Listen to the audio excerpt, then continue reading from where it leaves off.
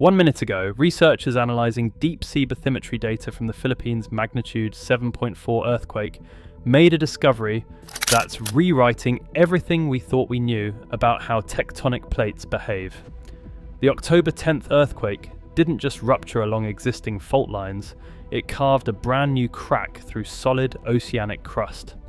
Captain Maria Rodriguez was operating a deep sea research vessel 400 kilometers offshore when her sonar detected something impossible a fresh seafloor canyon stretching 200 kilometers in a perfect straight line. The Pacific plate has been split like breaking a dinner plate, Rodriguez reported to her geology team. We're looking at a fracture that goes all the way down to the mantle. But here's what's keeping earthquake scientists awake at night. When you split a tectonic plate, you don't just create a crack, you fundamentally alter how stress moves across thousands of kilometers of crust. The energy that was locked in the Philippines fault system is now transferring along the fracture, like pressure flowing through a newly opened valve, heading directly toward the Manila Trench, the Philippine fault system, and every big one scenario scientists have been tracking for decades. When the Earth's crust starts breaking in ways that dive hali, chance FE Geological Science. What does that mean for the 100 million people living above the world's most dangerous fault network? And how do you prepare for earthquake disasters when the plates themselves are rewriting the rules? The Philippines sits at one of Earth's most complex and dangerous tectonic junctions. This archipelago nation isn't just on the Ring of Fire, it's at the very centre of a tectonic battle zone where multiple plates converge, collide, and grind past each other in a geological war that's been raging for millions of years. To understand what made the October 10th earthquake so unusual, you first need to grasp the country's unique position. The Philippines is sandwiched between two opposite facing subduction zones, where oceanic plates are forced beneath continental plates, creating deep oceanic trenches and volcanic activity. On the eastern side, the Philippine Sea Plate subducts westward along the Philippine Trench. On the western side, the Sunda Plate dives eastward along the Manila Trench. Between these massive convergent boundaries runs the 1,200 kilometre Philippine Fault Zone, a massive strike slip fault system that traverses the entire archipelago from north to south. What makes this system particularly volatile is that the Philippine Mobile Belt, the collection of microplates that form the archipelago, is being squeezed from both sides. The Philippine Sea Plate is moving northwestward at a blistering pace of 8 to 9 centimetres per year, among the fastest tectonic movements on Earth. When you combine this rapid plate movement with the complex network of faults slicing through the country, you create a geological pressure cooker Stress accumulates along fault lines until it reaches a breaking point. Then, suddenly, the Earth ruptures. This tectonic complexity explains why the Philippines experiences over 100 earthquakes every single day, though most are too weak to be felt. But every few decades, that accumulated strain produces devastating seismic events that rewrite our understanding of tectonic behaviour and that's exactly what happened on October 10th. The magnitude 7.4 earthquake struck at 9:43 a.m. local time, with its epicenter located 48 kilometers northeast of Manay, Davao Oriental in the southern Philippines. Initial reports from the Philippine Institute of Volcanology and Seismology, or PHIVOLCS, placed the quake at 23 kilometers deep originating from movement along the Philippine Trench. This wasn't just any subduction zone earthquake.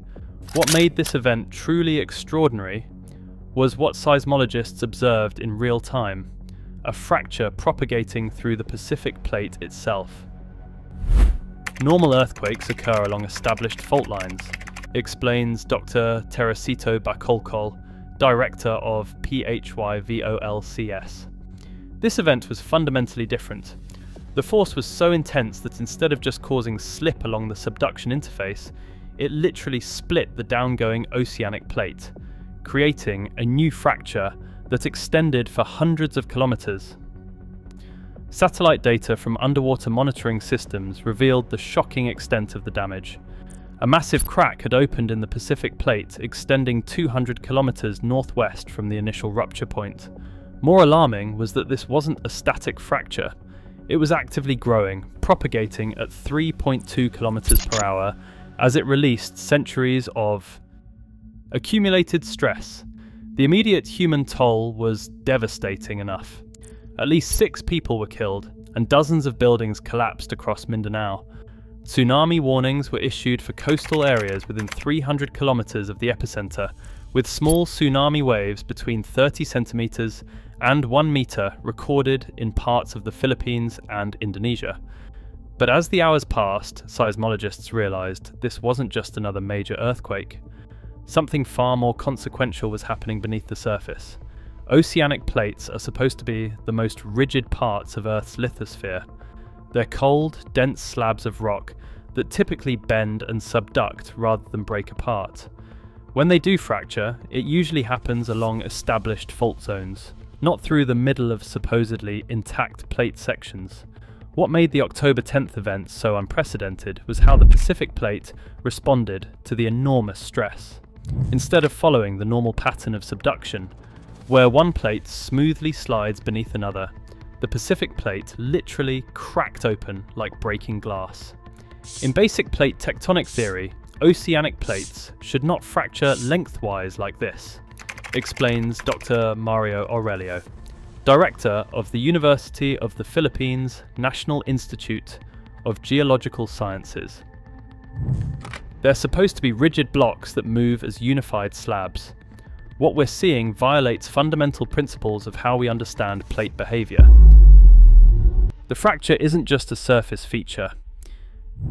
Deep sea bathymetric mapping shows it extends through the entire thickness of the oceanic crust, approximately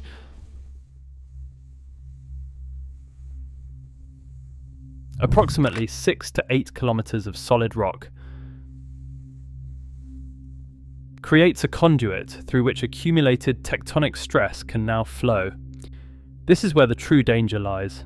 The fracture has essentially created a new pathway for stress transfer across the Western Pacific, bypassing natural barriers that would normally contain and isolate seismic energy.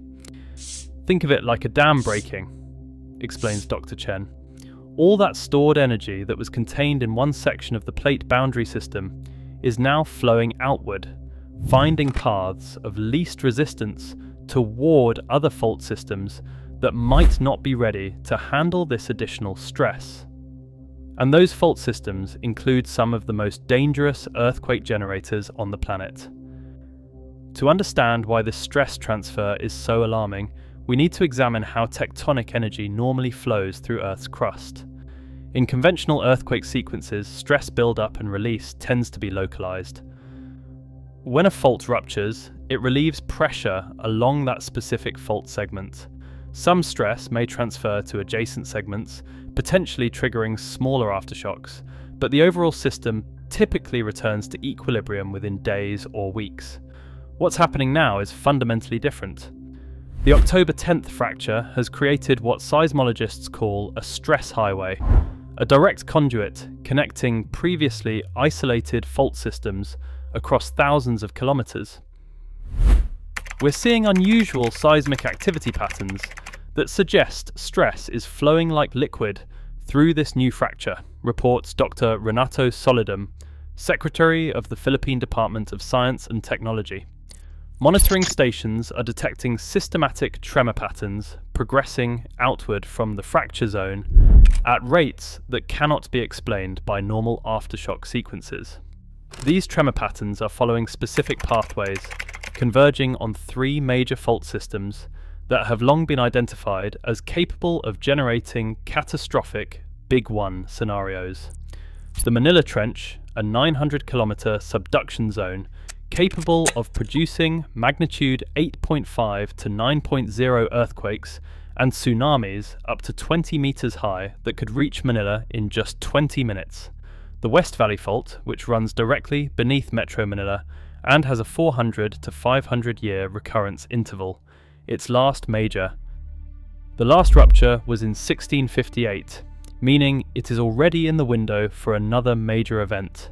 The Negros Trench, a 400 kilometre fault, recently identified by PHIV OLCS as capable of generating magnitude 8.2 earthquakes that could devastate Western Visayas. What's particularly alarming is the rate at which stress is accumulating on these systems. GPS monitoring stations are detecting ground deformation that suggests strain is building up 5 to 10 times faster than normal background rates. This earthquake has completely changed our understanding of how tectonic stress transfers between systems, explains Dr. Bacolcol. Stress that should have dissipated over centuries is being concentrated in months. The most immediate concern is Metro Manila, home to over 13 million people and the economic heart of the Philippines. The West Valley Fault runs directly through this densely populated urban area, and PHIVOLCS has long warned that a major rupture could kill up to 34,000 people and injure more than 100,000. Stress transfer models now suggest as Sam that the October 10th event has significantly increased the likelihood of the long feared big one striking the capital region. Microseismicity along the West Valley Fault has increased 300% since the Davao Oriental earthquake, indicating the fault is becoming increasingly unstable. Even more concerning is activity along the Manila Trench. Deep tremors have been detected for the first time in decades, suggesting the megathrust fault is beginning to respond to the transferred stress. Should this subduction zone if the fault were to fully rupture, it could generate not just a devastating earthquake, but also a tsunami that would strike Manila Bay with minimal warning time. We're detecting coordinated microseismicity along the entire 1,250 kilometre length of the Philippine fault system, reports Dr. Chen. This level of synchronized activity across such a large fault network is unprecedented in modern seismic monitoring. What makes the situation particularly dangerous is that many of these fault systems were already approaching the ends of their seismic cycles. The West Valley Fault last ruptured in 1658, putting it 367 years into a 400 to 500 year recurrence interval. The Manila Trench hasn't experienced a full length rupture in recorded history, suggesting enormous amounts of strain have already accumulated. The October 10th fracture event hasn't created new earthquakes from scratch, it's simply accelerated timelines that were already ticking toward inevitable ruptures. The implications extend far beyond the Philippines. The stress highway created by the plate fracture connects to fault systems across Southeast Asia, potentially affecting earthquake risk in Indonesia, Taiwan, Japan, and beyond. We're monitoring stress transfer patterns that suggest increased activity along the Ryukyu Trench near Taiwan and Japan, as well as segments of Indonesia's Sunda megathrust, reports Dr. Aurelio. This is truly a region-wide phenomenon. The potential human toll is staggering. More than 200 million people live within areas that could be directly affected by these fault systems. Many in coastal urban centres with high population density and vulnerable infrastructure. Metro Manila alone has a population density of over 20,000 people per square kilometre in some areas, with many buildings constructed before modern seismic codes were implemented. A major earthquake during daytime hours could trap hundreds of thousands in collapsed structures. The tsunami risk is equally severe. Models suggest that a full Manila trench rupture could generate waves reaching 20 metres in height that would strike western Luzon within 20 minutes, far too little time for effective evacuation of coastal communities. PHIVOLCS has responded by implementing enhanced monitoring protocols across all major fault systems. But the reality is that early, early warning systems can provide only minutes of advance notice. For earthquakes, the focus must now shift to preparedness and mitigation strategies. Three weeks after the initial event, the plate fracture continues to grow and redistribute stress. Seismologists are tracking its expansion daily, watching as it rewrites the fundamental rules of tectonic plate behaviour. We're literally witnessing the birth of a new plate boundary, explains Dr. Solidum. This fracture may eventually develop into a fully established boundary that will change how the Philippine Sea Plate and Pacific Plate interact for millions of years to come. The scientific implications are profound.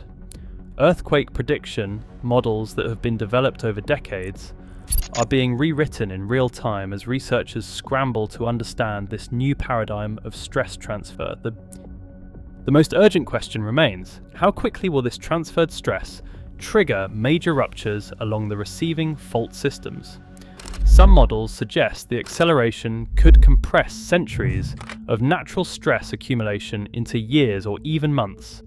Other oceanic plates around the world are, now being examined for similar potential weaknesses. If the Pacific Plate, one of Earth's largest and most stable tectonic plates, can experience this kind of catastrophic fracturing, then similar events may be possible elsewhere. We've entered uncharted territory in terms of earthquake risk assessment, acknowledges Dr. Chen. The rules that governed how we understand seismic hazards have fundamentally changed. For the over 200 million people living in potentially affected areas, the message is clear Preparedness cannot wait. Governments across the region are accelerating retrofit programs for critical infrastructure and implementing enhanced evacuation plans for coastal communities. The October 10th earthquake has transformed from a local disaster into a regional wake up call. The Philippines has always lived with seismic risk, but never before has a single event so dramatically altered the timeline for potential catastrophes across an entire region. The tectonic plates beneath our feet are changing the rules of their ancient dance, and we're only beginning to understand the consequences. Subscribe to Earth Attacks for continuing coverage as this unprecedented geological event unfolds. With every tremor, we're learning more about how our planet's crust behaves when it breaks its own rules. The question isn't if these loaded fault systems will rupture, but when, and how prepared we'll be when they do.